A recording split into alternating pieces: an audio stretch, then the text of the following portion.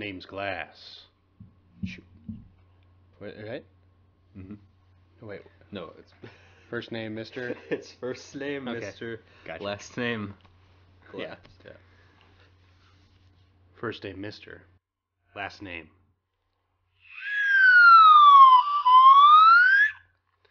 Hey, it's Glass. It's the movie that we all saw. It's the greatest movie of 2019. Come Look on. out! Look out, because Mr. Whistles is coming for you.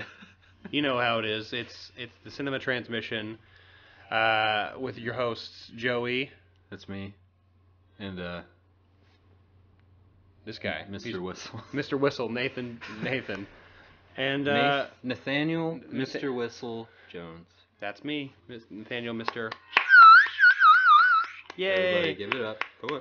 Yep. You clap. I, don't, I want to hear you clap. I don't care if you guys are listening to this in a library. You better be given a round of applause. Stand to- up. to Stand man. up and clap, Citizen Kane style. But we both saw Glass, and uh, we both promised each other before uh, recording this that we wouldn't tell each other what we thought about it. Yeah. So, So, we're going into this conversation fresh. yes, and I I have a sneaking suspicion. I think I know Joey's opinion on it, but Are you sure about? But I don't know about it. So what I'm gonna say is I actually enjoyed this movie. Well, let me go ahead and well, you can continue if you have more to say, but before I, I give my thoughts, I want to like kind of go back a little bit. Okay. Uh, well, I just wanted to say I, I enjoyed it for what it was, and uh, if we want to talk about a little bit of like the critical reception, Mm-hmm. um, I, I literally did not understand the the backlash on it, and uh, even if you didn't like the film, which I know you're going to get into uh, whether or not you liked it, but I I don't I literally think it's an okay film regardless of whether or not you like it. Um, so I, I don't understand the critical response to this. I think the audience is actually a little bit more on the nose with it, with you know kind of a positive response. Like it's it's not anything super special, but uh, anyway, Joey, what do you what do you want to say about it? All right. So I I first saw Unbreakable just the like a couple days before Glass even came out. Yeah, So, you know, it was one that I've been like, oh man, still need to see that. And then I was like, Glass got announced after Split, and then I was like, yeah, I still got to see that one. And then it finally got down to where Glass was about to come out, and I still hadn't seen it. So it was just like, I gotta, gotta watch this fucking movie already. And uh, I did, and I loved it. I loved Excellent. I loved Unbreakable. And um, yeah, Unbreakable is fantastic. It's prob- I think it's one of his best. I think if Yeah. not my favorite Shyamalan movie. Yeah, I think it might be the first one of his that I can recall that I like really just like came away from just being like, yeah, I, I loved that movie a lot. Um, it fe- it does not even it feels like it was so ahead of its time too. Oh yeah, way before all the Yeah, considering like what you know how huge superheroes would become and how much a part of our culture they would be. Uh, just watching that movie now without ever seeing it before, it was like, yeah, it was. Uh, I thought it was brilliant, and uh, I loved pretty much everything about it. About it, from its sort of muted color palette to just how how sad and dreary it yeah, was. it's grounded too. It's, Yeah. it's definitely one of those more grounded superhero films Yeah. that like you know you don't really know if he's doing the things he's doing. Yeah. Like, is he imagining this? Is Bruce Willis, you know, actually this you know superhuman that survived this train accident, right? Yeah, it So- kind of it has like an internal debate going on, and then it introduces Elijah, and he adds even more complications to what David's dealing with, and it kind of, to me, that movie is like an argument for why it's a good thing that super exist in real life. Sure. Yeah. No, absolutely. Yeah. And Elijah's actually a little bit more sympathetic Yeah. i- i- in the, his role. Yeah. So, So yeah, going after watching Unbreakable, I was like, okay, now I'm like, ex- I'm so excited to to see Glass after knowing like what that movie is and how it has Split tying into it, which I saw when it came out in theaters. it's a pretty good movie. Yeah, it's really good. I wish I could have uh, watched it again before uh, before I saw Glass, but I wasn't really able to, which was fine because it it was only it's only been like a couple years since that came out, so I, it's still pretty fresh in my mind. But yeah, um, Glass fucking rules. Oh, sweet! I I'm, love- I'm really I- happy that Joey uh, went against what I was thinking he would say. Yeah, I fucking loved it, man. Yeah, it was a really fun movie.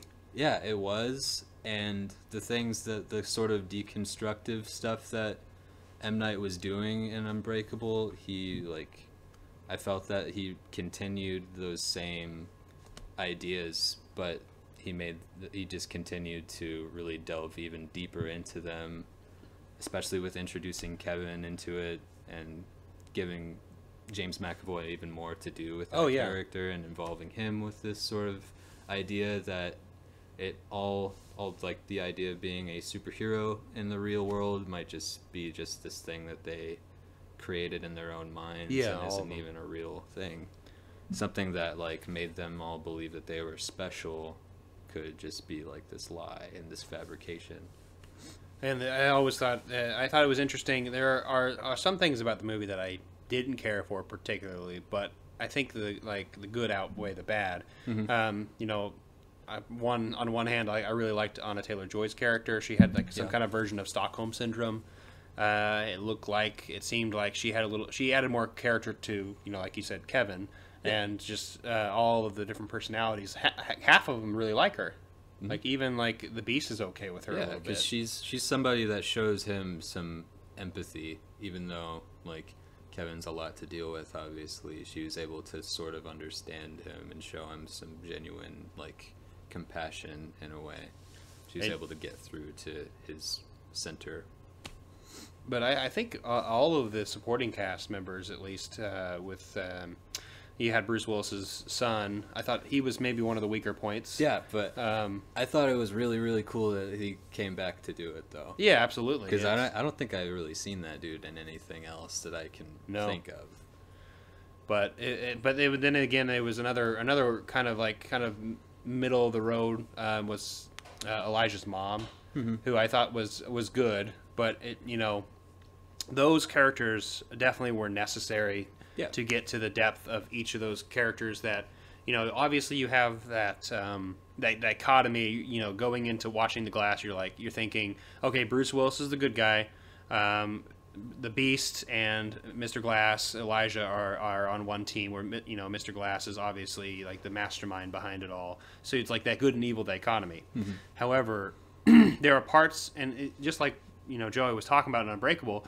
Bruce Willis cheats on his wife and like has you know has you know consequences. He's not perfect. He's not a good guy. Like he's got you know some some depth to him too. He's done some bad things, but he's just trying to you know work that throughout that out. And I, I like how with each of those supporting characters they they delve deeper into uh, both Elijah and Kevin's characters, showing them that they're they're they're more than just evil beings yeah and you know all everybody in that that you know movie has a lot of you know different fleshed out things about them yeah. So yeah i'm glad you liked it. Yeah i did a lot. It's definitely not perfect but no. it was just like it was just really thrilling to see you know to see that world brought back to to now. And uh you know the opening act of this movie basically gives you exactly that just a split and unbreakable coming together and sort of those two threads like intertwining just like a couple weeks after split like literally Yeah. it picks up right after Yeah. the events of what split happened Yeah, and just like that whole like kind of world building that that does, and how it brings those characters together is really awesome to see. Especially you know considering that Bruce Willis and Samuel L. Jackson haven't played these characters in almost twenty years. Yeah. So and did you know about the the deleted scenes from unbreakable that they put in to glass I believe so. Yeah, a lot of uh, some of the some of the scenes. Obviously, we're not getting into spoiler territory for anyone who's listening because Right. we want you to watch the film. Obviously, because you know M Night Shyamalan, he's got twists. Um, where's my slide whistle for that one? Uh It's twists, but uh, oh, I Mr. Whistles. Mr. Mr. Whistle. Uh, but I, I I did not know that a lot of there was some stock footage because you know there's a couple times where you they have flashbacks with Bruce Willis. Um, he's got you know he looks a lot younger. I'm like, oh, they must Yeah. have put a lot of money into that. No, actually, that was actual deleted scenes from the original movie Unbr- Unbreakable. So it's like that's really cool. Yeah. How they incorporated that. Yeah. So I, I I give M. Night Shyamalan props for coming back strong from you know those four movies of Yeah. like ooh Yeah, where he really plummeted, and he just kind of he kind of revitalized himself by by going backwards a little bit, and uh, furthering his own sort of worlds that he made, and um, you know, again, without really giving anything away, because this movie's still obviously pretty new.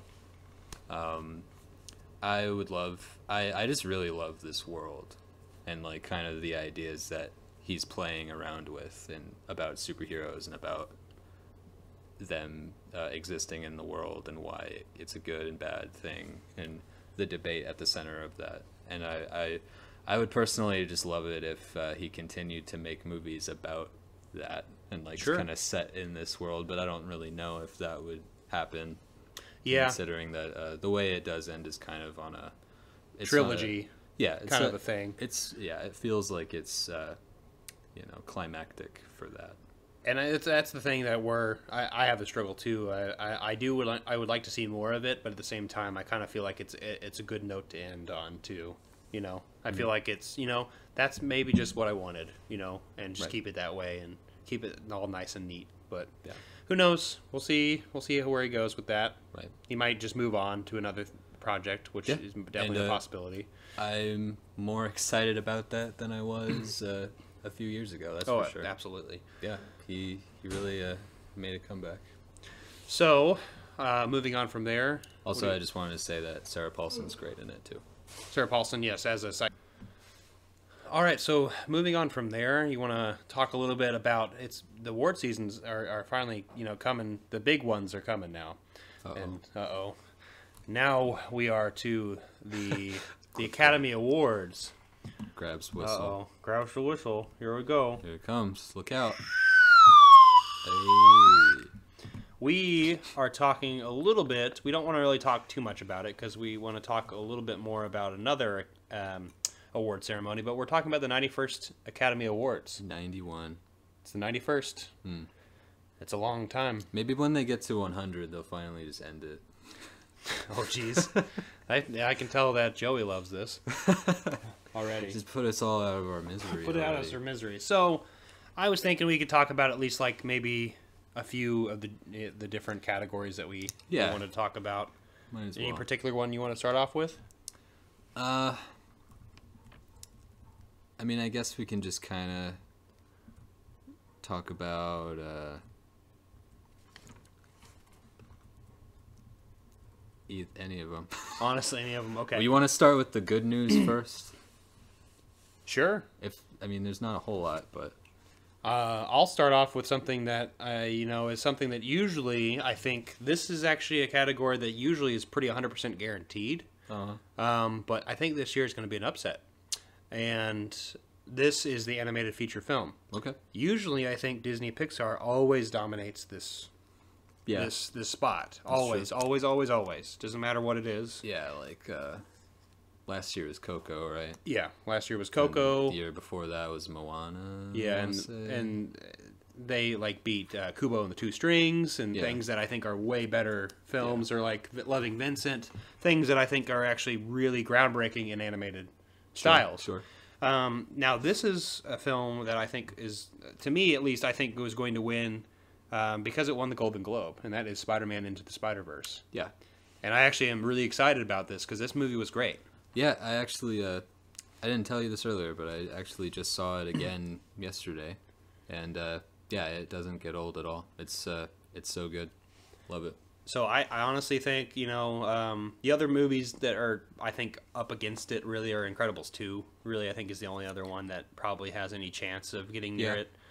Uh, maybe Ralph breaks the internet, but um, then there's Isle of Dogs, and then uh, Mirai. Is that I'm saying that right? I think so. Um, Isle of Dogs was fine. It wasn't really groundbreaking. Uh, definitely, I think a little inferior to Fantastic Mr. Fox. Yeah, there. Uh, it had less of a like a. I don't know if people out there agree with that, but it just does. It doesn't have like the usual warmth that a Wes Anderson film does. Felt a little safe.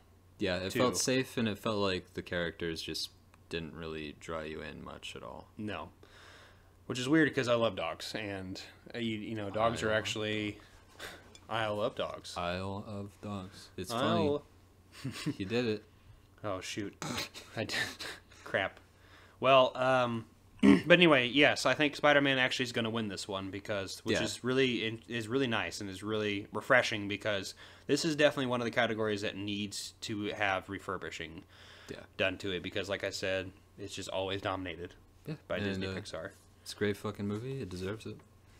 Okay, other than that, um, I think we can probably talk about um, maybe want to talk about foreign language film maybe Sure. for a second, even though we haven't seen some of them. Yeah. Uh, one thing that's like I would consider to be a pretty glaring omission is uh, even though I've not seen it yet, uh, Burning is not here. Yeah, I I would say over possibly Capernaum, which I think is from the Middle East. I can't remember exactly which country, Yeah.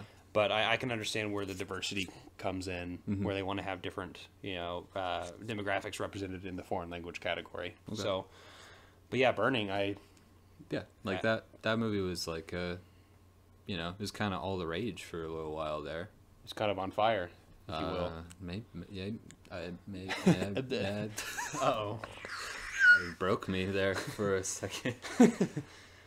but I, I there's there's a couple things here that I I mean we haven't seen Cold War yet either, Right. and that movie's coming near us as well, and that one has actually I'm actually really impressed. And it's in several other categories, Yeah.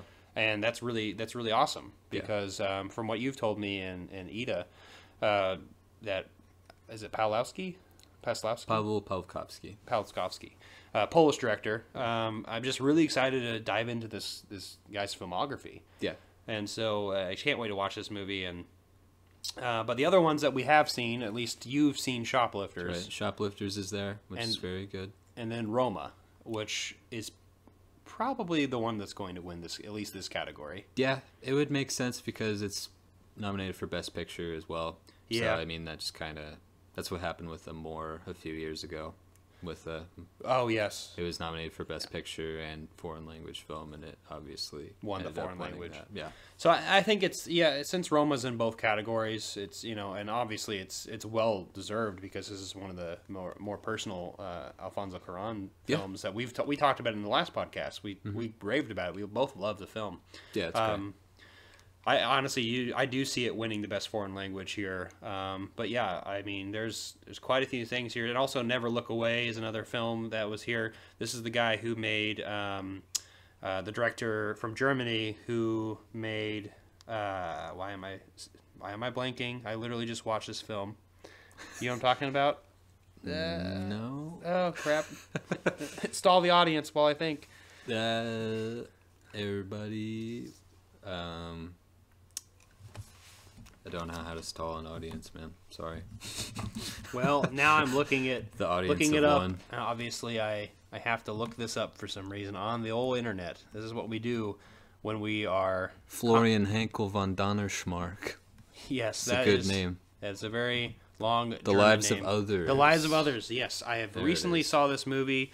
This is a that was a fantastic film, and I finally was able to see that movie. So this is the same director uh, that Joey just said, Florian, Florian Henckel, Henckel von, von Donnerschmark. Donnerschmark. Really long name. So He also directed The Tourist. Ah, which I have not seen, and I don't really know if I want to. Ah. but those are the nominations for that. Uh, we both think Roma's probably going to win that one. Yeah, yeah. Uh, next, do you want to just talk about um, just the actors and maybe the best picture? Yeah, that works. Okay. Um, so let's see. For let's just do actor and supporting role, or no, sorry, blah. We're on the wrong spot. For some reason, this place that we're at is just all over the place. Fucking CNN. CNN. Why? Why do you? Why do you? That's even right. do, why do you do that to me? Name drop them. CNN Entertainment. So, actor in a leading role. So, who we have here? We have Christian Bale, obviously for Vice. Bradley Cooper for A Star Is Born. Willem Dafoe for At Eternity's Gate. Rami Malek for Bohemian Rhapsody, and Viggo Mortensen for Green Book. What do you think? Who do you want to win? I should Uh, actually ask first. well, I mean, I don't think this was a, like a particularly amazing year for lead actors. I don't. Uh, yeah, I agree. There's Um, a couple in my in my periphery, at least what I think the Academy will pick. Yeah, I have not seen At Eternity's Gate. I do love Willem I Dafoe have though. seen that film. He's It's, probably like my favorite actor, right? Currently working right now. and he's he's a brilliant uh, brilliant in that film, uh, playing the you know the lives, uh, the life, the lives. He's got playing the different He's lives. got nine lives. Oh, shoot. fucking cat, baby. just you know playing Vincent Van Gogh in that film. It, he he did phenomenal work. Um, and then I watched Aquaman the same damn day, which was really funny. And He I- should have been nominated for that shit. He rides a hammerhead shark and he's got a top knot. Come on. Come on, Willem Dafoe for Aquaman, Best Picture. It's Actor. not too late. It's not it's too not late. too late. It's, you could consider him. Put, put him in there. um, so, what are you thinking then? I guess. I think I think Bradley Cooper is who I would want to see win. He's kind of I the think only I'm the same way. On based that. on those choices and what I actually have seen. It's kind of the only good choice. sure. I like I said, I have not seen At Eternity's Gate. I'm glad that Willem Dafoe is nominated for that. Yeah, it's a really interesting uh, because out of the other, the other four are kind of obvious. I feel like at least for this Yeah. kind of, but that one is good for him to be there because that's the only one at Eternity's Gate actually even got on the Oscars, just period. So. Um, I am I'm in agreement with Joey. I think Bradley Cooper is the one I think I like the most out of all of it. I've seen all these movies. Um, next person I would say who I actually think is going to win is Rami Malek for Bohemian Rhapsody, which is I think the only thing that this movie deserves really is him winning that, and that's maybe it. Um, and I, Joey might disagree with that Yeah. based on that. Um, but I mean, Don't the other me started. the other the other choice is Christian Bale. I mean, which is uh, once again, uh, bo- both Joey and I we talked about it last time. We didn't really Yeah. care for Vice, but Not big fans of that. but one. Christian Bale did a good job, and um, he definitely uh, it definitely you know was put up there for a nomination, and you can clearly tell it's kind of like last year's with um, Darkest Hour. You had right. which I I thought was way better, obviously. Yeah. I love that movie anyway. I love Joe Wright, so that's just personal love. But- Yeah. Dark Star is good. But anyway, yeah, this is a, kind of a lackluster actor in the leading role. Yeah, just not very strong. Just kind of a kind of wimpy, I guess. And honestly, with and we have Viggo, um, and I honestly think Mahershala is way better than Viggo, at least in this particular role. yeah, I, and so, yeah.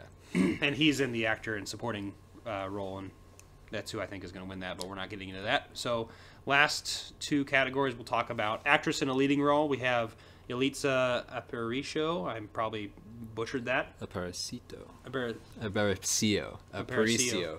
Apar- yeah. Anyway, for Roma. I don't know. I thought there was a T in there. Glenn Close for The Wife, Lady Gaga for A Star Is Born, Olivia Colman for The Favorite, and then Melissa McCarthy for Can You Ever Forgive Me.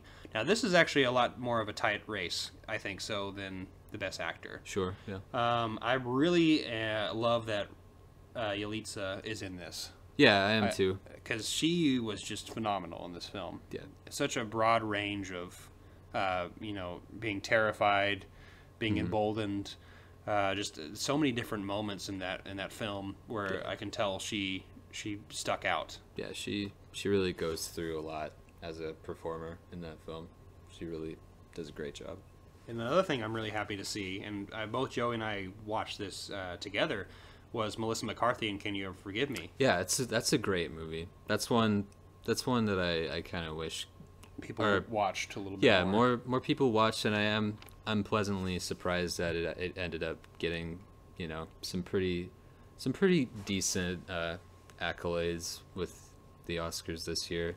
I'm really happy that Richard E. Grant got a supporting actor nomination as well. Absolutely.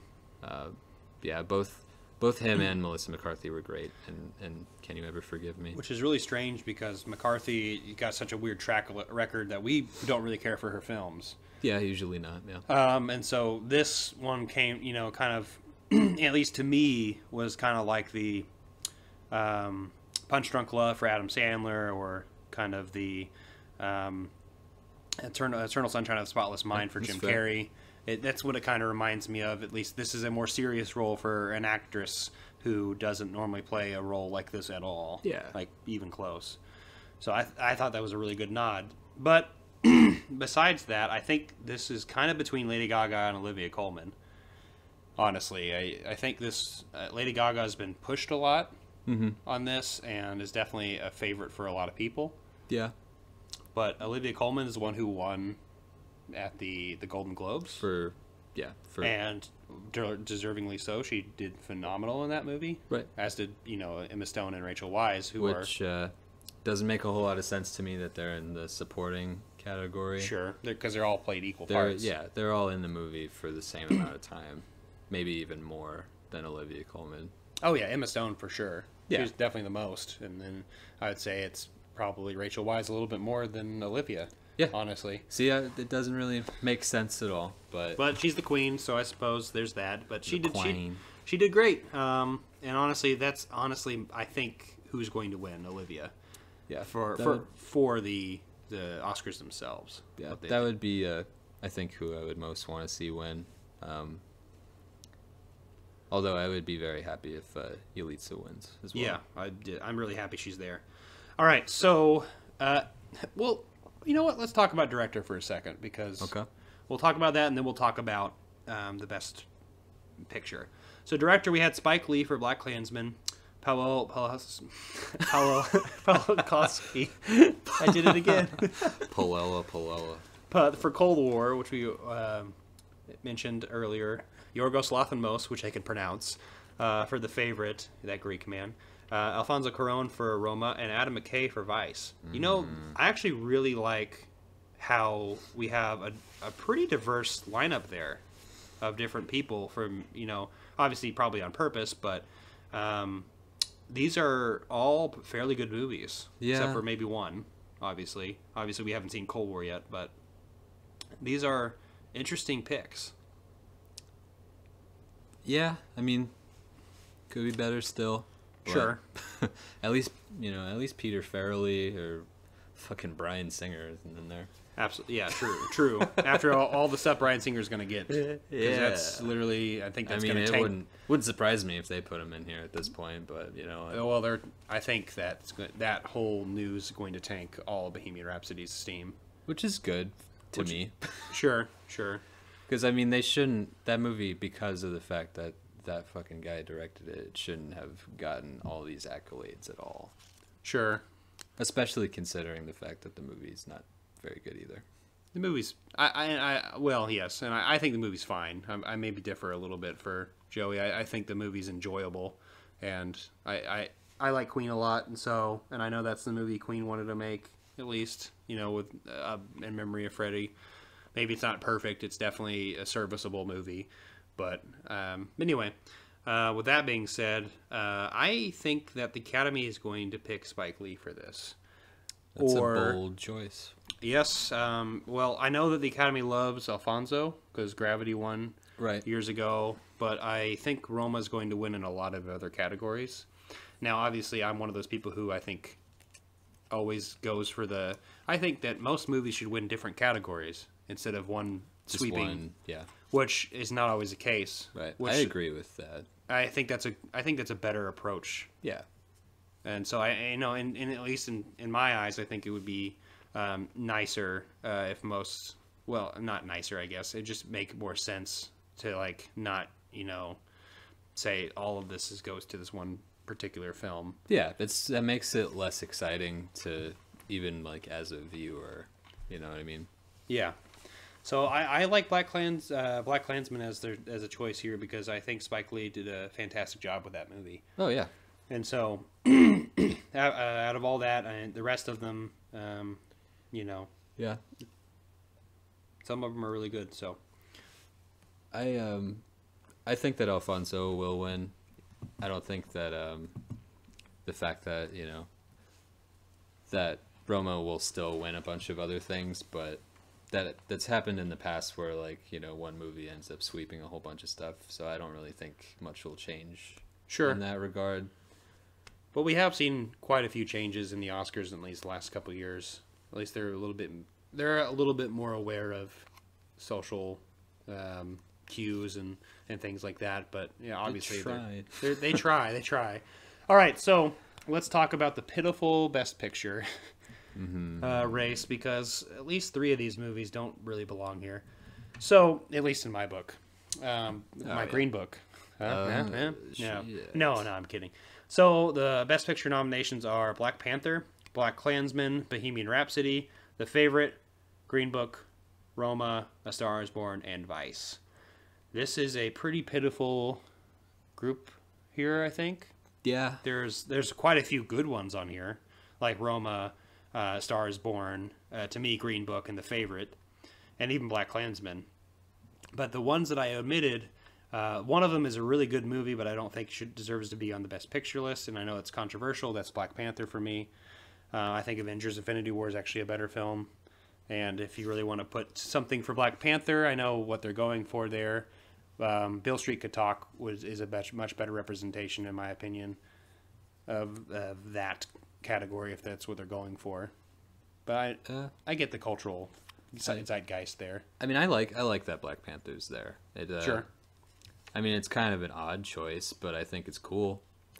Um, but um, I will say that uh, it is kind of pitiful that uh, if Beale Street could talk isn't on there either. Oh, absolutely. it's well, Especially considering that usually there's nine Best Picture nominees, and this year's there's only eight. yeah. So that doesn't really make much sense to me at all.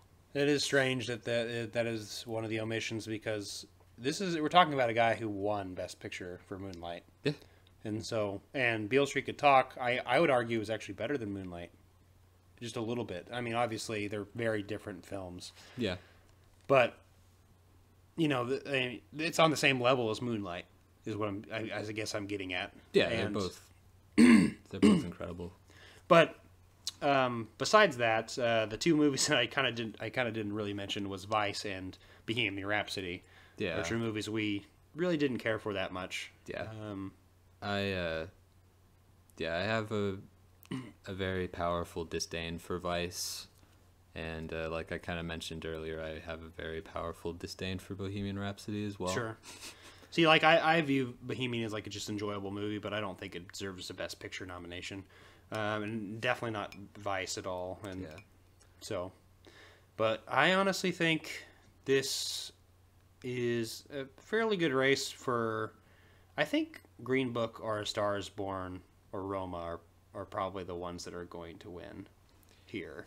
I think the two that this is kind of it's kind of similar to last year for me because last year there were two frontrunners for Best Picture and they were Three Billboards in the Shape of Water. Shape of Water, yeah. and uh, I, I'm not really a huge fan of Three Billboards, so at that time I was just like really hoping that The Shape of Water would take it, Mm-hmm. even though there were much better films nominated for Best Picture that year that I would have rather seen. Like Call Me by Your Name. yeah, Call Me by instance. Your Name, Lady Bird, Phantom Thread, And but Blade Runner wasn't even put up there, but it should have.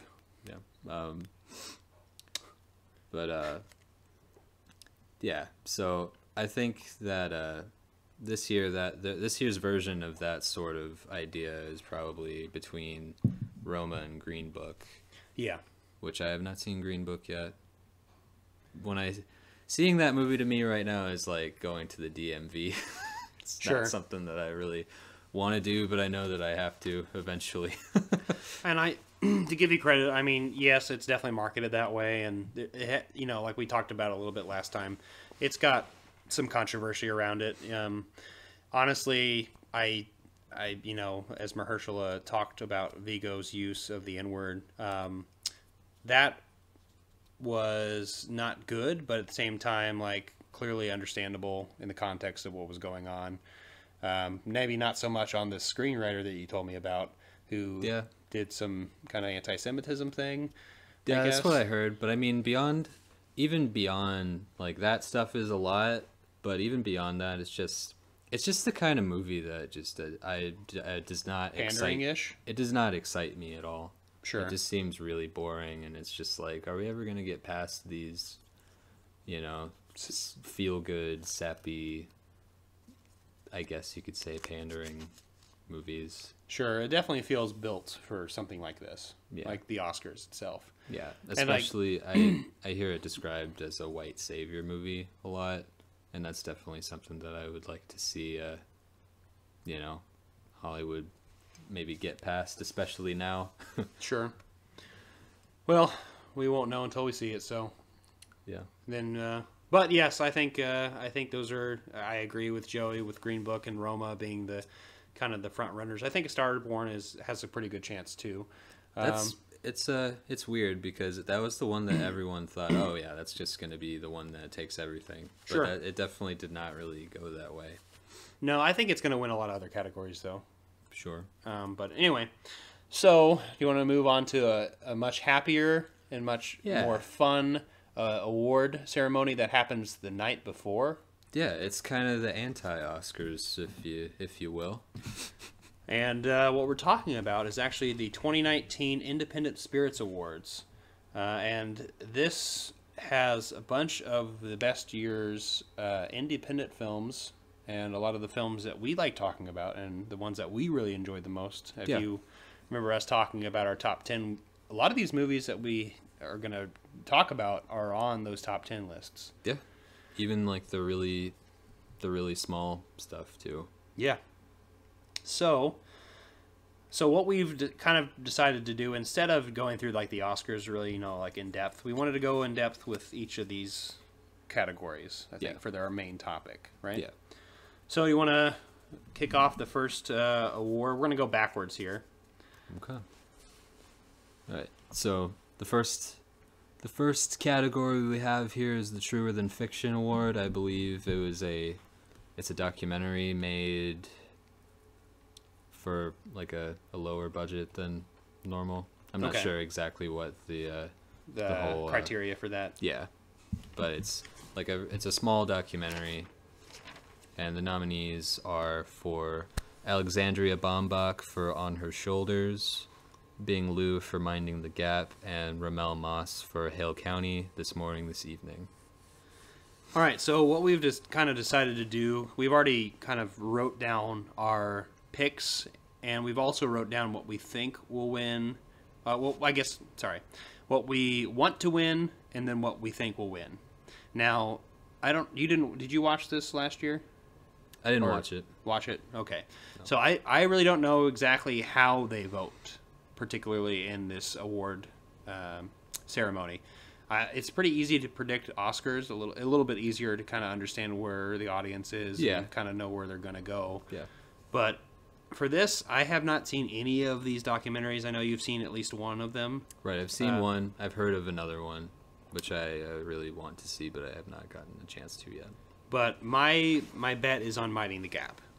Yeah, I uh, I love minding the gap, which I talked about a little bit in our last episode. Um, but uh, I believe that it, it has a very good chance of winning. But also, uh, Hale County this morning, this evening, has gotten quite a bit of traction from uh, from critics. It's a very small movie. It's uh, it's a very simple movie too. It's basically like about this, you know, this small sort of I don't know if I, it's a small town or just like this area in like rural, in the rural South, where it's you know a predominantly black community, and it's basically just showing just a full 24 hour span Oh, okay. of just this community and how they, how the people there just kind of live their lives, and uh, apparently it's like super experimental, and it does, and uh, the director Ramel Moss does some really interesting and cool observing of these subjects. So it's definitely the kind of thing that I'm I'm super interested in. I just uh, I don't think it's available to rent on, on any VOD service yet, so I haven't really had the chance to see it, and I don't think it will un- get a, a release in theaters here, unfortunately. Yeah, that's the unfortunate thing about probably you're gonna hear us probably multiple times say that because um, Yeah. there's a lot of these movies we're going to be talking about weren't really wide released or are they available on specific um, networks like Hulu or HBO and or Netflix, which is interesting and cool, um, definitely for people who have access to those things, but seems very limited um, when obviously you know I, I prefer the more traditional kind of going to the theater to watch these things, but I know that's we're we're in the minority there. No, yeah, I mean, I don't know if I would say a minority. Maybe not for this award ceremony. Yeah. I don't know if I would say that we're in the. I, I know people still enjoy going to the theaters. Yeah. But- Anyway, so we're thinking Minding the Gap probably for that one. Yeah, that's. uh I would be really, really excited to see that uh, win something because I think the winner of that award also gets a grant. Oh, that could go towards a new An project. That's amazing. Yeah, and I would love to see Bing Liu do something else.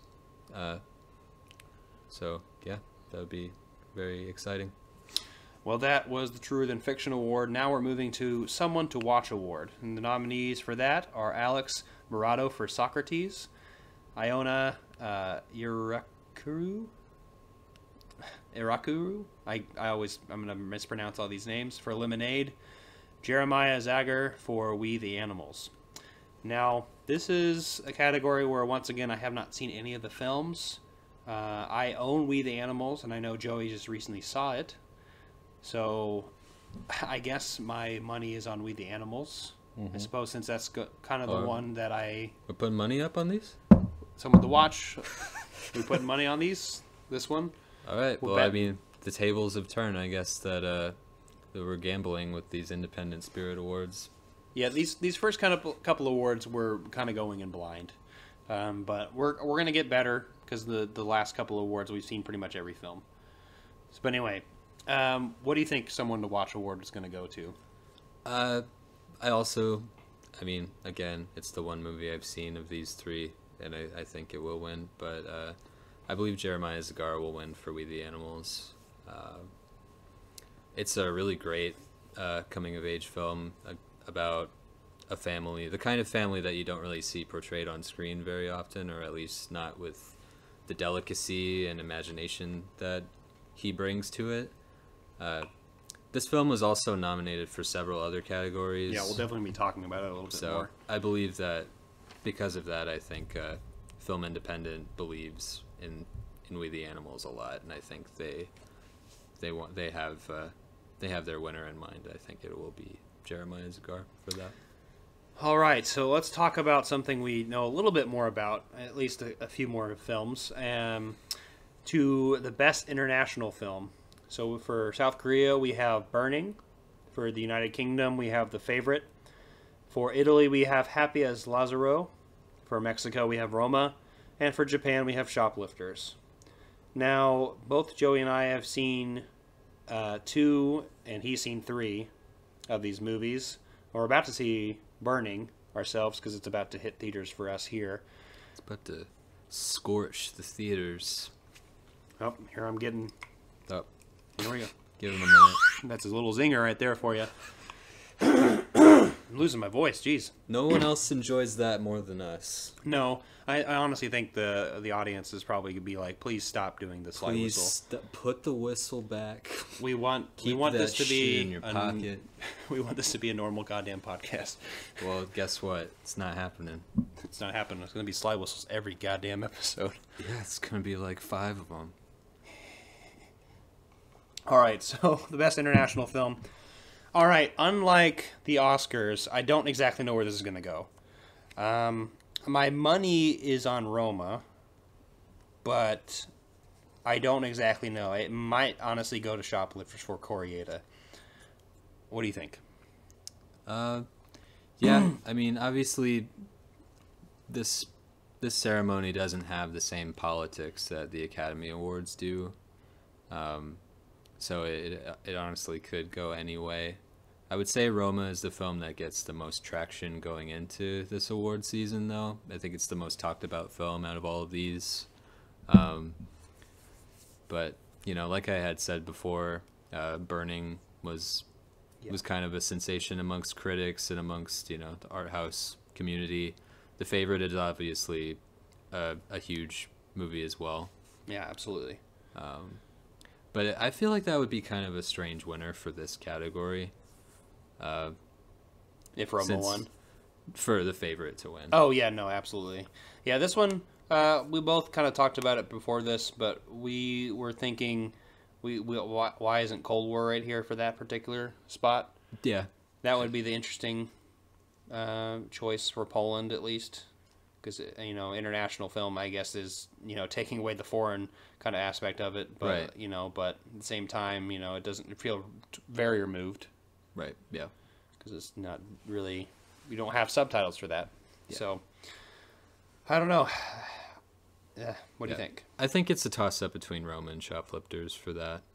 I would I would probably say that if I were to to put money on it, like we are going to. So Oh, you we are. Yeah, that's that's you said earlier you're putting your money on it, so I was like, okay, I guess that's what we're doing here. Guess we're putting a couple of coins down. Get ready to lose it all, baby. Yeah, I think you're talking to yourself. Fuck y'all. oh. All right, so let's go uh, from there to the best documentary. So we have Hale County this morning, this evening. We have Minding the Gap. We have A Fathers and Sons. We have On Her Shoulders. We have Shirkers. And we have Won't You Be My Neighbor. Um, Joey, what do you think since you've seen at least three of these, right? Yeah, Yes. I've, I've seen I've seen Shirkers and Won't You Be My Neighbor in addition to Minding the Gap. And um, considering that two of these were nominated for the Truer Than Fiction, it's possible that whatever winner of that would probably be omitted from potentially winning this. Mm-hmm. But I mean, anything anything goes if you if you think about it. Yeah. But Shirkers is a great movie. It's also another Netflix one. Um, it's about this young Taiwanese woman who makes this this little uh, esoteric uh, coming of age movie when she's a teenager, and it's about uh, it jumps forward like 20 years later, and uh, the film is basically lost, and it's about kind of her trying to recover that film and kind of make sense of that point in her life. Uh, it's a really great documentary. Well- um, it's another one that people should check out if they haven't seen. Yeah, since you have Netflix, uh, most probably most of the people who are listening have Netflix. I need to check it out too because I have Netflix as well. Yeah, it's on there. So, uh, what are you doing? Um, well, I've only seen one of these documentaries, and this documentary was in my top ten, be- and I definitely is definitely the most obvious one. But won't you be my neighbor? Uh, for the Fred Rogers documentary, I absolutely loved, and I honestly think it is extremely necessary for this movie to come out this last year, because this, uh, with a lot of the things going on in the world today, I think this movie, um, like I said, it needed to happen, and I just I loved how much this movie made me kind of just retrospectively, you know, kind of understand humanity a little bit. At least one particular person who tried to help other people, maybe in a way that obviously, as I'm an adult, is not as a parent. But I think the way this was made, uh, talking about the social issues of the time uh, and all the things he was trying to do, and he was a complicated man, uh, more so than he was portrayed on on screen. I thought that this was a, a really great documentary and uh, one that, you know, as somebody who hasn't seen very many documentaries, I think Joey's seen a lot more documentaries than I have. I'm not really that much of an expert on documentaries. I think I need to check out more of those those films because it's just something I need to do. But won't you be my neighbor? Um, won't you be my neighbor? Can't talk. is uh, my favorite movie in there, so I think that's the one that I want to win. But I think it's between that or Minding the Gap, particularly in my eyes. But Yeah. I think Won't You Be My Neighbor is a good choice for that. It was definitely kind of a sensation this summer. For a documentary, for sure. It was definitely uh it was a big it was a big deal when it came out. And we didn't talk about the Oscar nominees for best documentary, but No. that It- one wasn't on there. I know, which is really strange. It that is. is not on there. And Yeah. I, well, actually, let's do a little meta moment. Uh, going back to the Oscars, there's a few things that we kind of alluded to. One of them being obviously "Won't You Be My Neighbor." We also talked about Beale Street not being on Yeah. uh, the Best Picture, Being snubbed for best picture. but also Toni Collette for Hereditary. Come on, and Ethan Hawke for first reform. and Ethan Hawke for First Reformed. We'll talk about both of them in a second, but Yeah, we'll get back to that. but you know, that's insane that they're all those people are not in there, and those movies aren't in there. So anyway, Yeah, and yet, you know, Bohemian Rhapsody and Vice. here we are, 2019. All right, so um, you want to go ahead and announce the next one?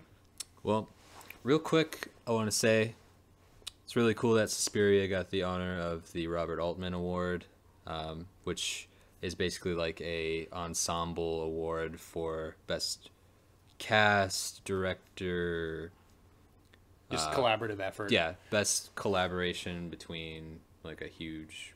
you know, yeah, absolutely. I with mean, everyone Suspiria was into it. just phenomenal. With uh, That's definitely a movie that was criminally not take. Yeah, it was not really given a, lo- a whole lot of legitimacy, especially with the whole uh, awards circuit going on now. So it's really cool to see it get like just be get this like singular honor. Yeah, it's uh, it's a, a film that has so much depth to it, and it has so much so much going on to, and like you, like you said, it's this this production with you know you know all of the the women involved, and Luca uh, ha- carving the story from this you know story that already existed, but like crafting it and making it his own thing. Yeah. On top of just the amount of just work and effort done by all of the actresses in this, uh, all of the dancers, the choreographers, the makeup artists, just there's editing, like all of this. There, it's, it's such a complicated and deep film, and it, Yeah. like I think it's criminally underrated. And I think it's amazing that the Robert Altman Award was awarded for them. Yeah. So that's that's just another thing to be happy about with uh, with these. All right, next award. Next, we have the uh, the John Cassavetes Award, which uh, I believe is a feature that was made for less than less than five hundred thousand dollars, I believe. It's Something like that. Less of a budget is Yeah, more or less uh, the concept. the there. best low budget independent film, and the nominees for that are A Bread Factory, El Septimo Dia, Never Going Back, Socrates, and Thunder Road. And uh, you haven't seen any of the films on here yet. No, this is the first category where I'm completely blind. So, and I've only seen Thunder Road, which I absolutely loved, and uh, luckily my friends, my friend Seth bought it um, digitally on Amazon, and we all watched it as he bought it, and we are all blown away by it. Um, I, I can't really make any bet since I really haven't seen any of the films, but I, I guess I say Thunder Road. Uh, I was really blown away by how amazing uh, this director, also actor, and also the person who put all the money into it, who I'm literally blanking on his name. Is it Jim Cummings? Yeah, Jim Cummings. Yes, he uh, did all of that for this particular film, and uh, That's really cool. it's it's a great movie, and I, I would recommend everyone who is listening to check that film out, and, Yeah. and Joey. I need to hop on it. So yeah, we don't really know who's going to the Cassavetes Award, but Yeah, it's uh, it's just another thing that's really cool that that category exists. I, I don't. I think it was the Rising Star Award as the winner also gets a, a grant. okay, Yeah. excellent. All right, you want to go to the next? Then? Yeah. All right. So for best editing, we have Joe Bini for "You Were Never Really Here," Keiko Deguchi, Brian A. Kates, Jeremiah Zagar for "We the Animals," Luke Dunkley, Nick Fenton, Chris Gill, and Julian Hart for "American Animals." Two movies with animals in the title. animals. Anne Fabini, Alex Hall, and Gary Levy for "The Tale," and Nick Hui for "Mid 90s." Hoi. Hoi. Midnight. Uh, okay, so be- best editing. So this is a uh, category over. I've only seen three of the the five films. I think you've seen all of them. Uh, I have not seen American Animals. Okay, I have seen American Animals, and uh, and all, all these movies, the the ones I I've seen, deservingly so, have are definitely here for for great things. Um, now the movies that I think, uh, the one that I want to win, personally, is You Were Never Really Here, Joe Bini for this. Yeah. Um, the editing in this movie were just it was just to the point and blunt. It hit me Yeah. over the head and was just phenomenal. Yeah, that I don't think that movie gets enough credit for the fact that it is only it's like less than 90 minutes long, but it just feels like so concise and so just so tightly put together and you've it somehow is able to even with just a, such a short amount of time it's still able to expand on the character of joe to the point where you understand him and you know uh, what he's about and the things that he's gone through in his life so yeah i think that's definitely my choice who i would most want to see win for this category as well The other movie that I'm thinking about is mid '90s. Mm-hmm. Um, Nick uh, Hoy, or however you say his last name. i don't know Um, why i just thought that it was Hui.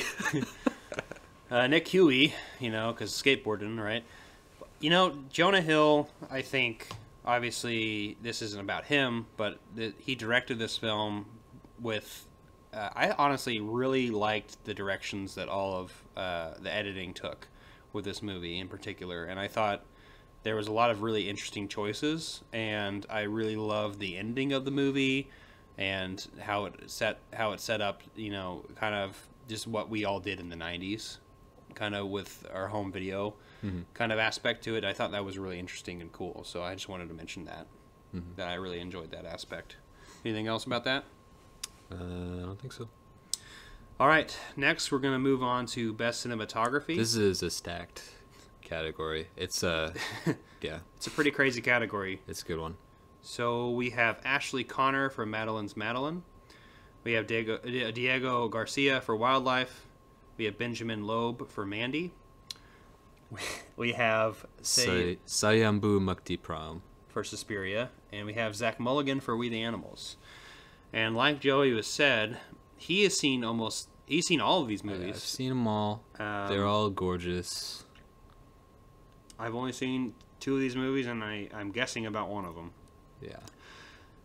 The one I want to win, I think I had Mandy or Suspiria there for the ones I want to win. Obviously, I have not seen Mandy, but I think that's the one that I, I honestly believe will win for that particular category.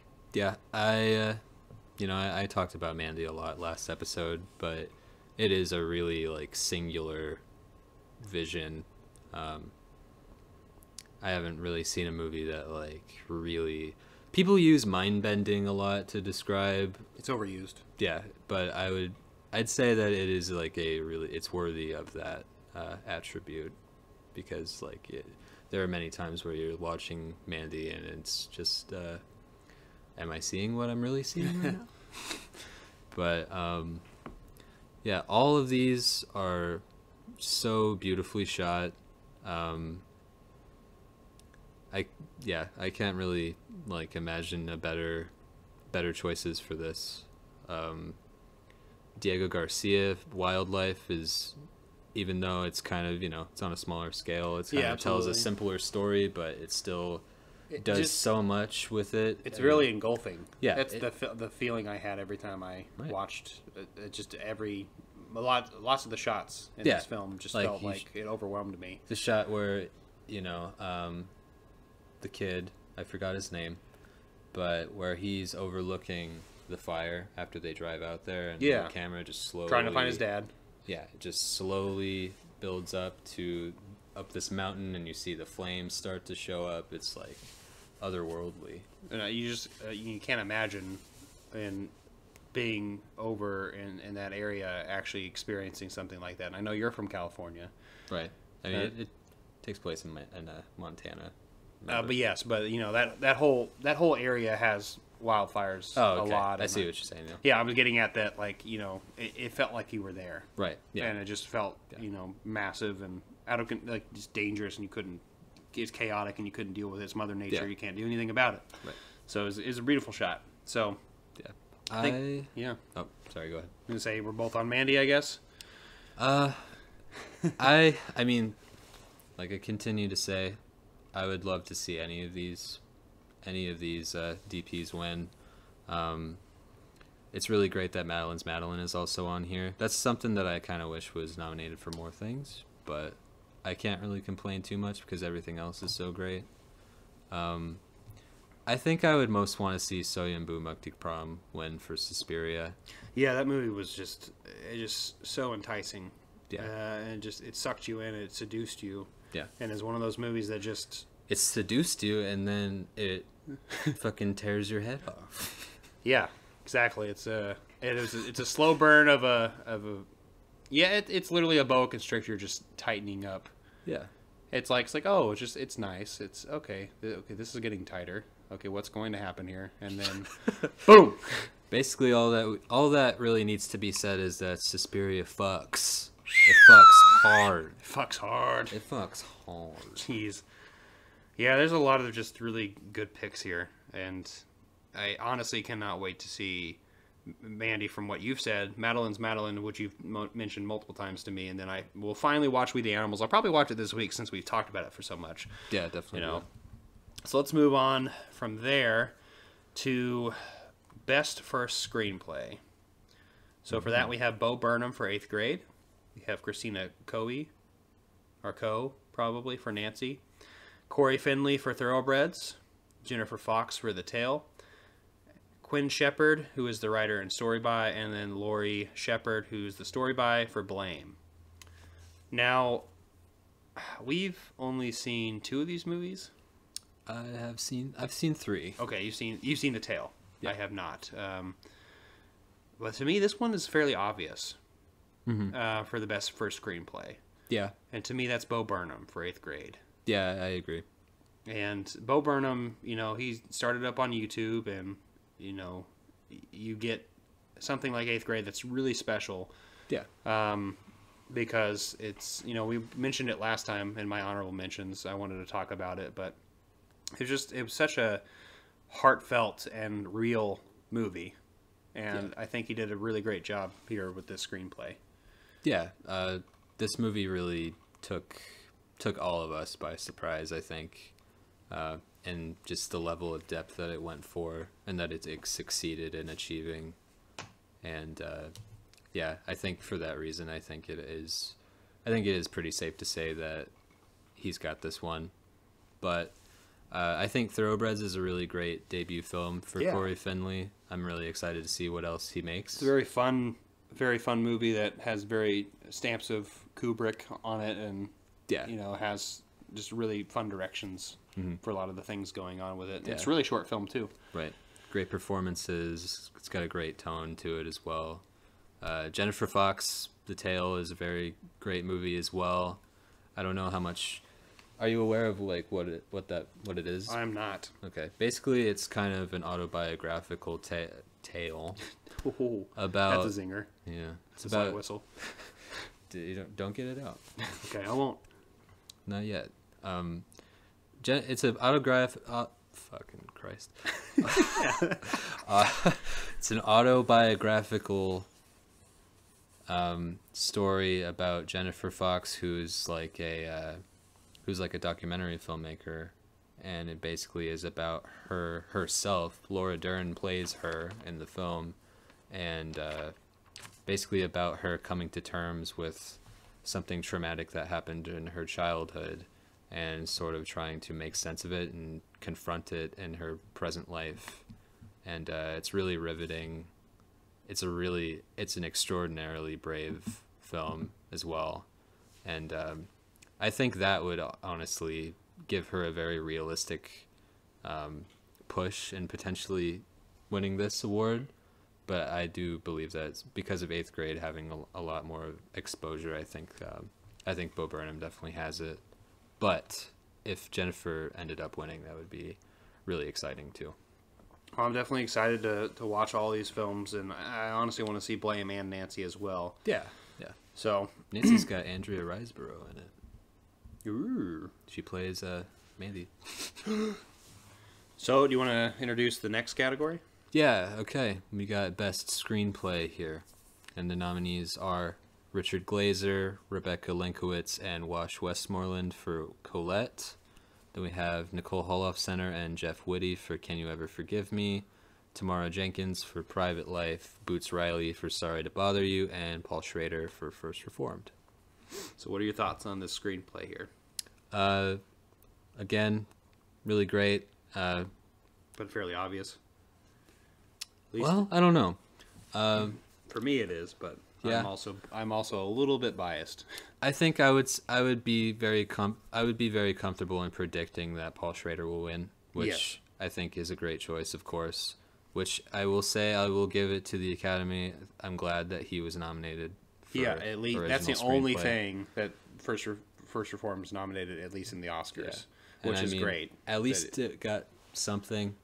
Yes, because it, it, pretty- des- it deserves so much. Yeah, it's pretty awful that Ethan Hawke isn't on there, but uh, I mean, it's good that that Paul Schrader made it made it in that category, which I believe I don't even I don't know if he had been nominated for that before in the past either. Really, I don't I don't know. Yeah, any of the films he's done before prior to that. I don't think so. That's a that's a criminally underrated thing, and unfortunate. I mean, Yeah. Anyway, yeah, I mean, I I would say that's a safe bet is picking Paul Schrader for First Reformed. I mean, obviously that's my pick and the one who I want to win. Yeah. Um, just personally, from my my my favorite kind of just, I was just so fascinated by that story. Um, Yeah. But it, there's a couple of other things that I've seen in this uh, lineup that I thought were really great. We both saw Can You Ever Forgive Me, Yes. which we thought were was really fun. yeah, that was a great movie. Um, I wouldn't say fun is probably the best word to say it. Yeah, I mean, it's interesting because it's it's a depressing movie that feels Lighthearted. yeah, it feels Yeah. lighthearted, but it's about you know, it's about this this woman who's doing some really awful things and dealing with loneliness in a very real way.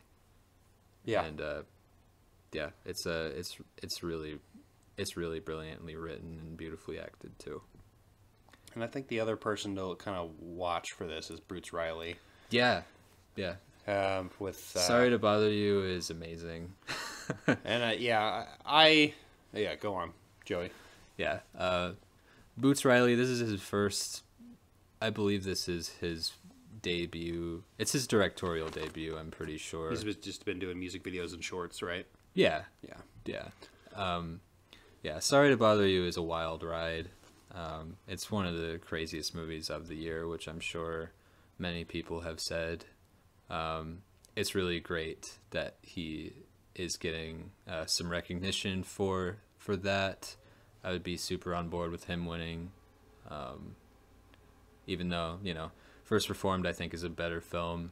Um, I think it's just really great that he's a part of Yeah. the conversation, as well as uh, Tamara Jenkins' Private Life is wonderful as well. Uh, there were just so many great movies last year. Yeah, I mean, yeah, I mean, unlike what we were talking about earlier with the Oscars, you know, we're really happy to be talking about all the movies that we're mentioning here because these are the movies that, you know, we were blown away by. You know, there was some good ones in the Oscars too, but this is where, you know, the mainstay is where a lot of the, the big ones that we really liked are here. The most important ones, I would Yes, say. it definitely for for just cinema in general. Yeah. Um, so let's just move on from there to a really interesting battle here. Um, Battle Royale. battle royale between the best supporting male. So for that, we have Raul Castillo for We the Animals. We have Adam Driver for Black Klansman.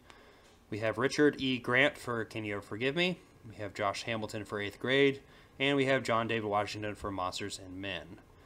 Oh. I am putting my money on John David Washington. Careful. Don't be talking about money. I'm going to think you're serious. I'm putting some coins down on this guy.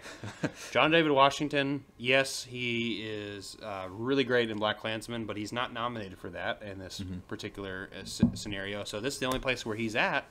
Yeah. And I actually really loved Monsters and Men. We watched it together, Yeah. Great movie. And I thought he did phenomenal in that movie uh, in a in a very difficult position too. Yeah, that I yeah, that had to have been a really really tough uh tough role to to take on, but he he's this was definitely a, a huge year for him and I'm really He's really in three movies. yeah, I'm really excited to see where his career goes from here because uh in everything that I saw him in, he really stood out. He's Uh, making a name for himself, yeah. uh, other than just being Denzel's son, which is yeah. it's great. And I didn't even know that until I didn't even know that either. Yeah, until, until, this- a little bit later on. yeah, which is just fantastic. Yeah. But um, there's other other people in here that I thought were just phenomenal. Yeah, I Um, love I loved Richard's performance. Uh, Jack Hock forever, and uh, can you ever forgive me? Um, I think I would be most excited to see Adam Driver win for yeah, Black Klansman. he's he's the fun uh, he, he's the fun counterpart to John David Washington in Black Klansman, Right. and is definitely that that counterpart that is necessary. Yeah, I, th- I think this is my favorite performance of his. Yeah. Uh, yeah, he's just he's so great here, and uh, it's also really cool that Josh Hamilton is in there for eighth grade. He's definitely, I would say, He's the reason that made me cry in that movie. yeah, he he's the emotional center of that film. Um, he really, uh, he and Kayla's kind of relationship was just like really. It felt very honest, and uh, very refreshing to see portrayed that way. And uh, a lot of that was because of him and what he brought to the role. Yeah, it kind of feels like how I'm going to be as a dad if I ever become a dad, and that's Yeah. probably going to be me, the awkward one who's making just Yeah. dumb jokes all the time. It was just really nice to see like a parent that wasn't just like you know, just mad. Like it could you could have easily seen like that movie just made when instead of you know, Josh Hamilton just trying to be you know understanding and show some compassion to Kayla, it could just you know be sort of dismissive. Yeah, and honestly, I, I you know, when I was to get a kind of get break a little bit of the mold, when I watched the trailers for eighth grade, I was excited, but I also had, um, you know, second guesses. Uh-huh. And when I had those second guesses, it's because of the subject material. Um, and the current time period, I'm not the biggest fan of the generation below me, as most people say that every single time. Going on curmudgeon mode. Yeah, my here's my curmudgeon mode. When I say that, I mean the technology has really sculpted um, a lot of the the fads that even we went through, you know, during that age. Um, but you know, obviously, more now it seems to be a little bit more obnoxious, at least probably in our eyes, because you know that's not what we did when we were younger. But with that being said, uh, I had that curmudgeon mode moment when I was watching the trailer. I was like, I don't know how I'm going to feel about this because it's definitely going to be really awkward and really hard to watch because it's stuff that makes me cringe. But at the end of the day, though, I think Josh Hamilton, like we were saying, is that center of you know bringing that together and Yeah. making it cohesive for me and enjoyable and and all of that. Even though you know I know what the subject material is. yeah. What a good fucking dad. What a good dad. That's what you should be. That's the dad you should be. All right, do you want to go? Oh. Before to- we do that, Oh. uh, Raul Castillo for We the Animals is also really great. I'm happy to see him on there. Uh, he's uh, he's not the best dad, but he's also a dad. He's not the best dad. unlike unlike uh, Josh. yeah, you'll you'll understand what I mean when you see that. All right, so let's go on to the next Okay, one. best supporting female. We have Kayli Carter for Private Life, Tyne Daly for Bread Factory, Regina King for If Beale Street Could Talk, Thomasin Harcourt McKenzie for Leave No Trace, and J. Smith-Cameron for Nancy. So this is one where you've seen three of the movies, right? Uh, I've seen three. Yeah. Yes. So you've seen Private Life, Beale Street, and Leave No Trace. Right. Yeah. I've only seen Beale Street and Leave No Trace, but I really think it's between those two, Yeah. personally. yeah. Um, speaking of, you know, good parents, you know, Regina King she's is just phenomenal. she's the mama. She is the, the mama bear in this movie, and she goes all the way to goddamn Puerto Rico. She goes to Puerto Rico. Puerto Rico to, you know, we're not going to get into the, the story, but like Yeah. she just, she goes above and beyond uh, what it means to be a mother. And also there's just multiple moments where you're like, like, you start clapping because you're just so happy that she made the right Yeah. decision. Yeah, it's just again, it's just a really refreshing take on that parental role. It's not what you're used to seeing in this sort of, you know, heavy dramatic setting. It's just really really nice to see like a family that genuinely loves each other Yeah. and will stick up for each other. That's what I love about that movie. Love. Uh, and then Thomasin Harcourt McKenzie for Leave No Trace. I Yeah. just recently saw this, Yeah, she is so good in this. and I agree with Joey on this because, I mean, Joey, you saw it way earlier in the year, right? Yeah, I saw it I believe back in maybe April, April or May, April, April or hey. April, or hey. But I finally watched it a couple weeks ago. I, I loved Ben Foster in it, and I also Yes. loved, I loved just I, you know, she played such a great daughter Mhm. um, to this broken man, Yeah, And- which uh, I don't think he he also deserves some credit too. But Absolutely. we can we can get into that again later. But with with Thomasin, her performance, I, I was just, you know, I was wondering where she would go the Yeah. whole time. The Yeah. entire time I was watching, is like, what direction is this? Where are we going with this? Yeah. Like, what are you? What are you gonna do Yeah. with the situation that you're thrust in? And that's that's something that really just interested me, and you know, she just knocked it out of the park. I don't really know anything else she's been in. Do you? I don't think so, but uh, yeah, her performance just feels so naturalistic. Uh, yeah, uh, you just you buy into everything that she does, and uh, you really, really feel for her sort of dilemma about, you know, trying to find a place in a world that her father does not want to be a part of, and wants to protect her from, basically. And she kind of learns that it might sort of just be like an illusion that he has, you know. Yeah, it's just it's it's it's such a complex movie for such a simple premise. Right. and and the you know the decision that she's having to make is a really deep one Yeah. and it's really heartbreaking to kind of just watch it unfold just in whatever direction it goes Yep. anyway That's a great movie. anything Should, else to say about that Uh, I believe that Regina King will win. i do too For that. honestly i think she will win that as well She's, I think she's the Oscar frontrunner as well, which is exciting. And uh, she's also uh, in my favorite TV show of all time, The Leftovers. She hops in on uh, in uh, season two, and she's amazing in that as well. So yeah, I love Regina well King. damn i need to watch that show i've only seen the first season so can I keep going so let's move on from there to the best male lead So we have John Cho for Searching, David Diggs for Blindspotting, Ethan Hawke for First Reformed, Christian Malheiros for Socrates, and Joaquin Phoenix for You Were Never Really Here. Now this one I know is uh, is a battle for for Joey, Yeah, and two less less of so for me, but Yeah, uh, there's two really really strong performances here. Two of like my absolute favorite performances from a lead actor this favorite year. actors too. Yeah, yeah. Uh, Joaquin Phoenix and You Were Never Really Here. Obviously, I've talked about that film a lot. Uh, is my favorite film of last year. He's one of my favorite actors, and uh, I think he is absolutely incredible in that. His presence is, uh, yeah, something that's very different for him, and also just feels like so strong. But Ethan Hawke with First Reformed, I think he did something completely new for himself as well, but even more so.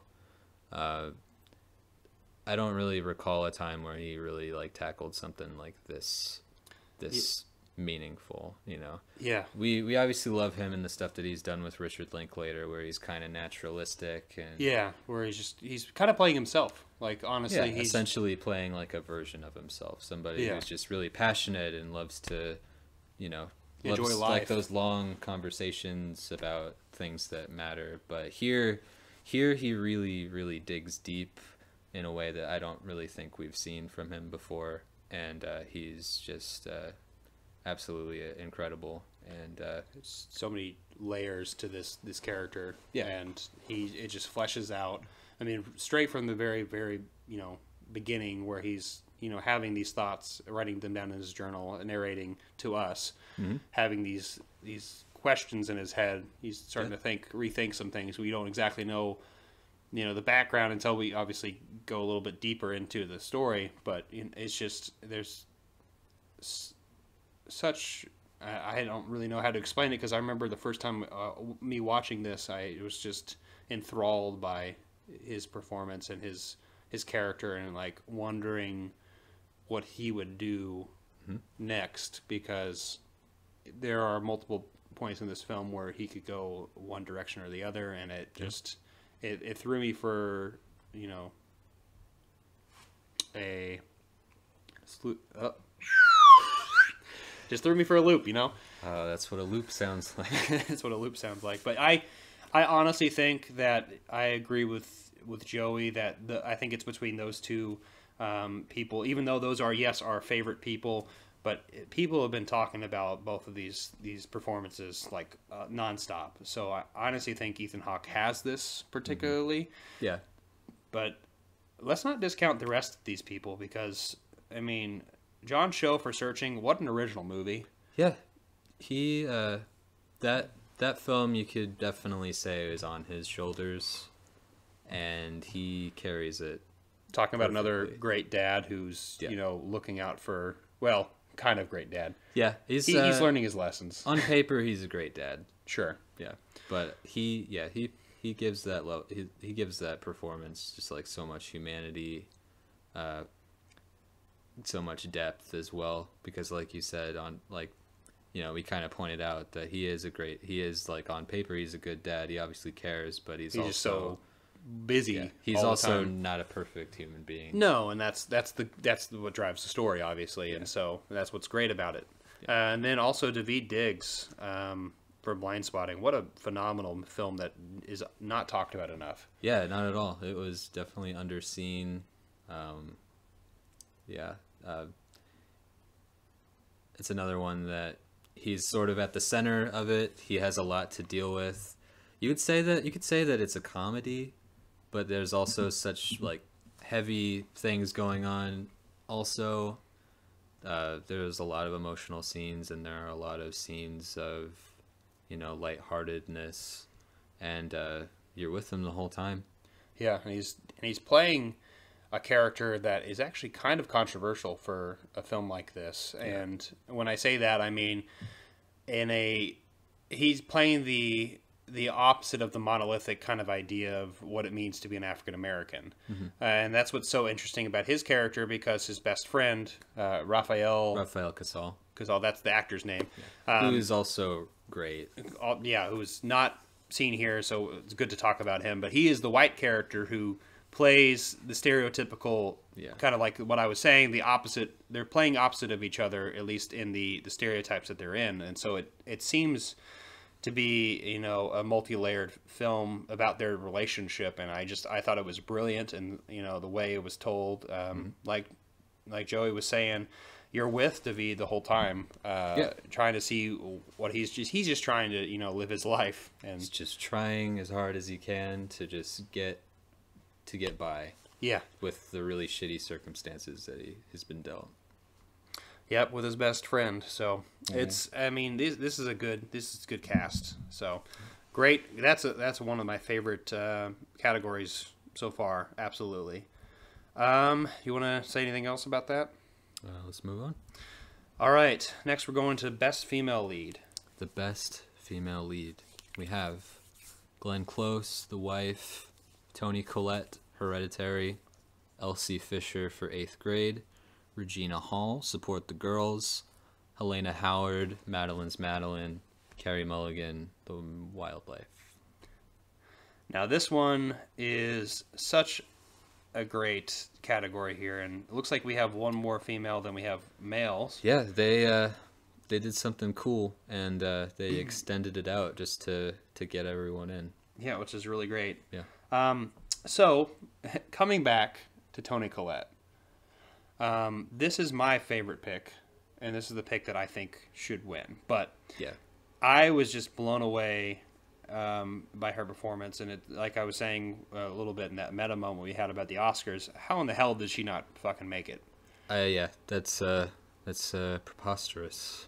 It's uh, Had to bust that one out. Here it goes. Ooh, There's another uh, slide whistle moment for for you. But I mean, the the, the academies are known for not Mister. Last name Whistle. Mr. Whistle. Mr. Whistle does not like science fiction or horror in my Oscars, but we're not there. We're at the, the Amazing Independent Spirits Awards instead. So, uh, Toni Collette was just it. This movie was on her her back.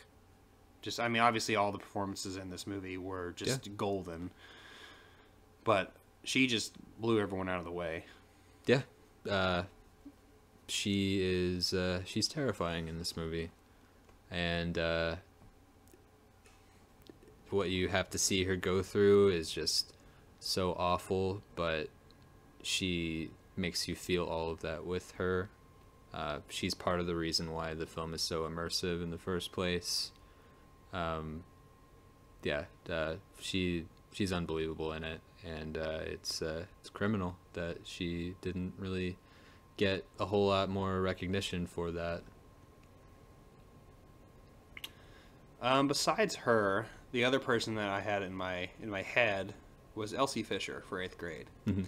I really liked her. Obviously, this is her first movie, and she, you know, she she played a role, um, because you know that's what Bo was looking for was what we are like in eighth grade. Yeah, Um, so I don't know how much is that that was like actual her or how much of that was actually acted. So, but uh, regardless, her performance was great. yeah. No And- matter what, she, yeah, she, uh, she's, she does it perfectly. she accomplishes exactly uh, what the what the film sets out to do. Yeah. So, uh, any other people you want to talk about? Any other women? There are a lot, actually. Uh, I mean, there's a, there's a couple I want to point out specifically, but I do have some very strong feelings. Uh, Regina Hall and Support the Girls is wonderful. Uh, I love that movie very much. Um, I mentioned I mentioned it last episode, talked about it quite a bit, but yeah, her she's always been a great actress. She doesn't really get a whole lot of credit. She doesn't really get the lead in much, but when she does shine, she really does. Or when she gets the chance to shine, she really does shine in just about anything. And uh, she finally gets like the a really really great role here that uh, more people need to see this movie. I'm serious. uh, they need to understand like put money on it. yeah, I'll put like like six dollars on that. man. That's big bucks. Yeah, Shoot. fat stacks. But uh, yeah, more people need to see support the girls so that they will understand what I mean by that. Because I bet that you will come away thinking like, yeah, Regina Hall is is uh, is great. And I also want to point out Helena Howard for Madeline's Madeline. Again, that's another role. It's a very unorthodox sort of film that she is just kind of thrust into, and the whole thing is on her shoulders once again. But she, this is, I believe this is her first film role. Um, and uh, she is just absolutely mesmerizing and um, unforgettable in that. So, and also Carey Mulligan is great in Wildlife as well. She's always been great, and uh, she pulls off a very complicated performance in that as well. Yeah, I would agree. So yeah, it's just uh, the the, the for all these categories, I I understand why they added an extra nominee for that because there really were so many great performances this year, and uh, so many great female performances this year, and it Absolutely. yeah, it's really awesome that you know so many women got to to shine the way that they did. Yeah, I am really excited to see where that goes. And like Joey said, I need to see a lot of these films. So uh, I need to support the girls and Madeline's Madeline soon. And I also need to see The Wife for Glenn Close. All right, so now we're going to move on to Best First Feature. So this is a feature film that is the first time director uh, has. So, so we have Ari Aster for Hereditary. Well, actually, no. Hold on. Let me Okay, it's first best first feature, so it's it's the first feature from this director. Usually, it's not about the director; it's about the, f- the film itself. Right. Hereditary. We have Sorry to Bother You. We have The Tale. We have We the Animals, and we have Wildlife. So, with this all being said, I was kind of blown away by Hereditary. Kind of just moving on with Toni Collette. Uh, this Ari Aster, I, I after watching Hereditary, uh, went back and I watched a lot of his short films, and I could see uh, the workings of how amazing his camera work was, and and how you know unsettling all of his work is Yeah. And I honestly cannot wait for the next thing he does uh, after this because this movie was, in my opinion, one of the best horror movies I've seen in the last 20 years. Uh, this, along with The Witch, are like two of the films that I just I absolutely adore, and it's this movie's. It feels like it's for me, and my type of horror, and so that's why I love Hereditary so much. And I honestly think Ari Aster is just gonna go from here all the way, just just keep going up. So, Yeah. He already has a new film coming out next year too, which uh, is very exciting. But uh, yeah, it's hard to argue with that. Um, Hereditary was was pretty major this year, and uh, I I think that it would it would be the uh, the ideal choice for this category. Even though I've seen all of these films and I think all of them are worthy of being considered, but I think that uh, think that one is the the one that reigns supreme. Yeah, and talking about the other films, um, I really am glad that Paul Dano has Wildlife here. Mhm. Um, it- this is a guy who I've always enjoyed his work, but I always thought he was just the, one of the weirdest fellows ever. Like, just he does all these weird things, and so it's just interesting to see him take uh, a story like Wildlife. And honestly, I don't know how much of Paul Dano is involved in this because I kind of feel like it has a little bit to do with his life. Mhm. Now I don't, I can't 100% tell you that, Sure, obviously, sure. but you know, I feel like you know, I think directors probably put a little bit of themselves in their films, Of course. obviously, and this is kind of like with Jonah Hill doing with mid 90s. I could, I could tell you that Jonah probably had uh, some phases with you know, with this particular, you know, that film that he's interested in and skateboarding. So I have a feeling that in wildlife, uh, there's been probably moments of, of Paul Dano's life that had similar aspects of it, but I don't, I can't tell you. Anyway, I'm just prospecting now, so I shouldn't be doing that. But I really enjoyed Paul Dano's um, direction here, and I, I'm really excited to see him go from acting, and he's always been a phenomenal actor, um, to a director. Yeah. Um, yeah, wildlife. It was really thrilling to see such a so like such a confidently made film from him. Who's he's an actor that I've respected and really enjoyed for a long time. Uh, I saw There Will Be Blood for the first time like way back in like I think it's been over ten years now, and uh, that movie changed my life for sure. That's definitely one that opened me up to to the way that I see film now. And, uh, actually, it was my introduction to Joey, actually. Oh, talking yeah. about There Will Be Blood, but Yeah, that's that's, true. another story for that's another, another story for another day. We But uh, yeah, um, yeah, wildlife was uh, was really exciting to see.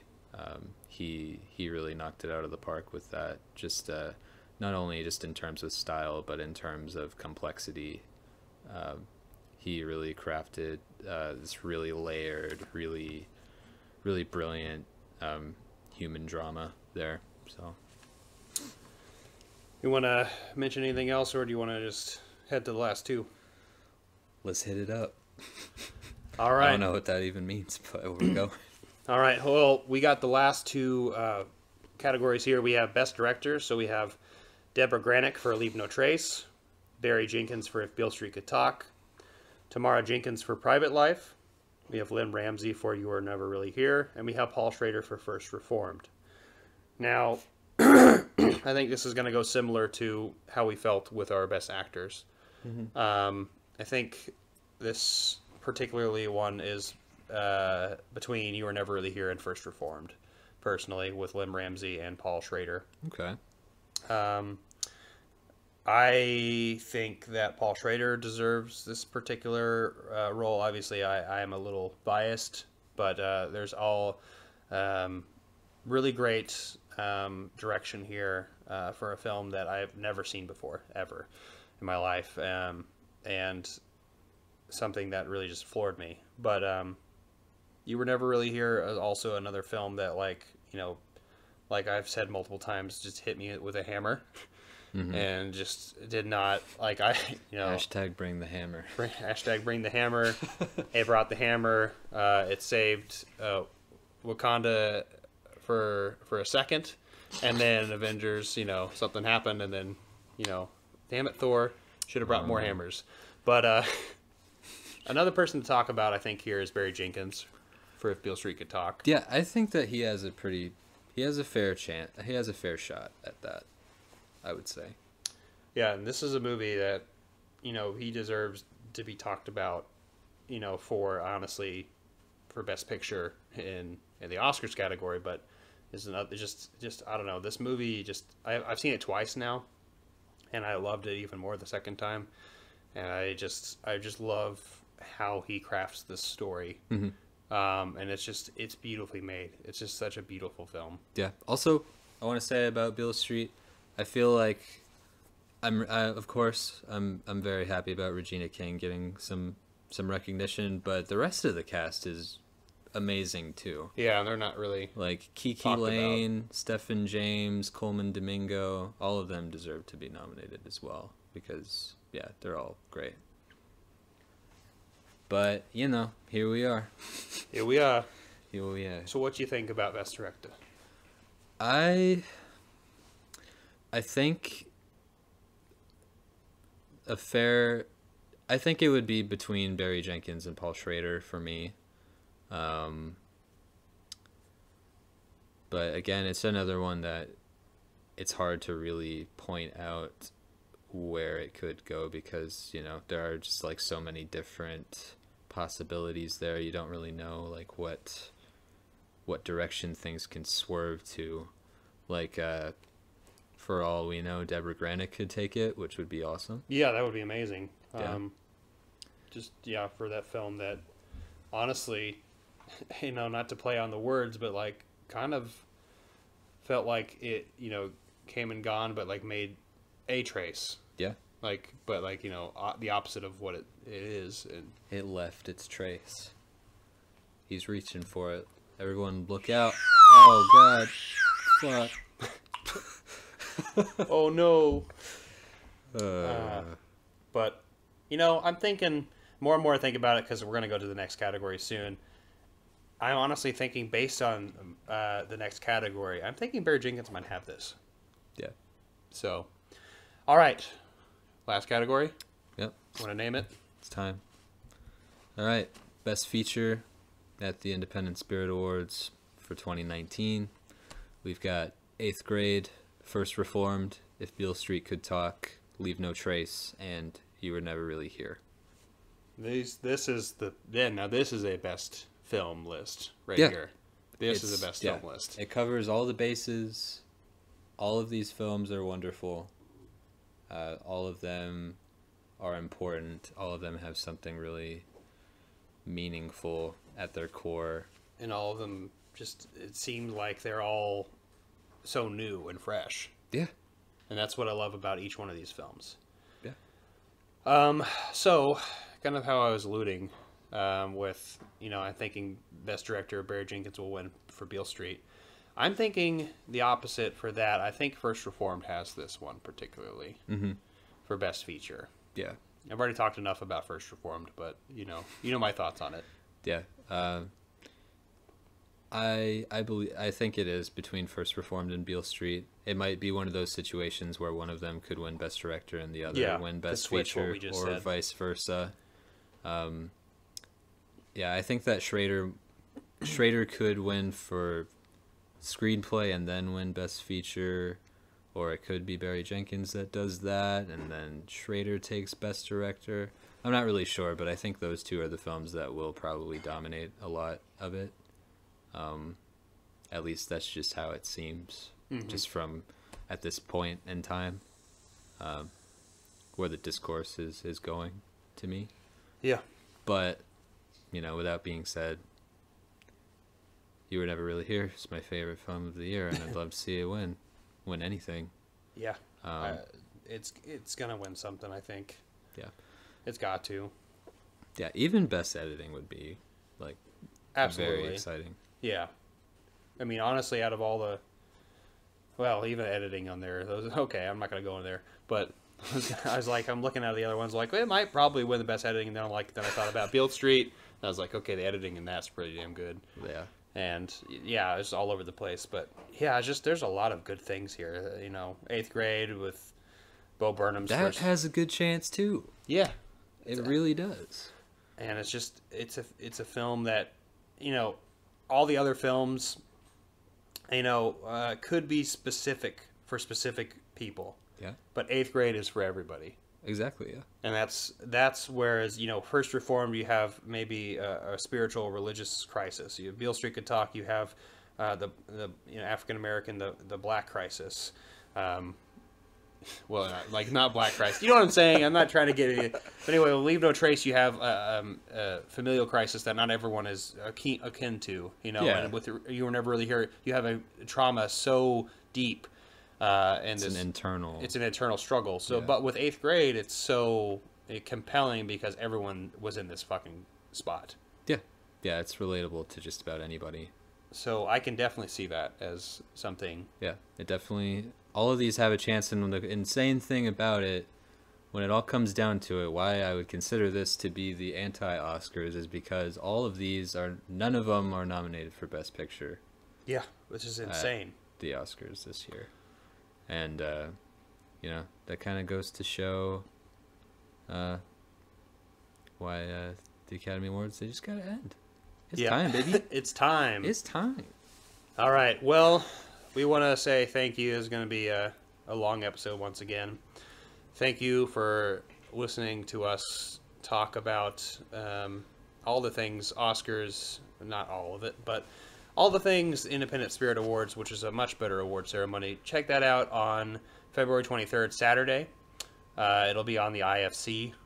I'm Uh, sure there will be other ways to Oh, watch it. you can definitely stream it online somehow. Yeah. I'm sure. Yeah. Um, but we're, we're looking forward to it. Uh, yeah, it's gonna be uh, it's gonna be really exciting. Um, it's gonna be the the, the quote unquote true awards ceremony for for the films of 2018. Um, so yeah, I think, or I can say that we both think that it deserves to be, uh, you know, a little bit well, more well known, a little bit more, uh, a little bit more attention should be given to it. Yeah, I mean, and I, Joe and I talked beforehand. He was the one who actually introduced me to this this award ceremony, and I didn't really know about it, and so it's criminally underrated. I think since you know not enough people, I don't think know about it. So definitely check that out. Also check out the Oscars if you want to have some laughs and and some gaffs. Yeah, check out Bohemian Rhapsody winning Best Picture, and then Bryan Singer will be on stage, and Uh-oh. everyone will throw tomatoes at him, Here we, we'll, here we go. we'll laugh. And that's what the whole thing's about. All right, well, this is Nathan, And I am Joseph Townsend. and we are signing off. Good night.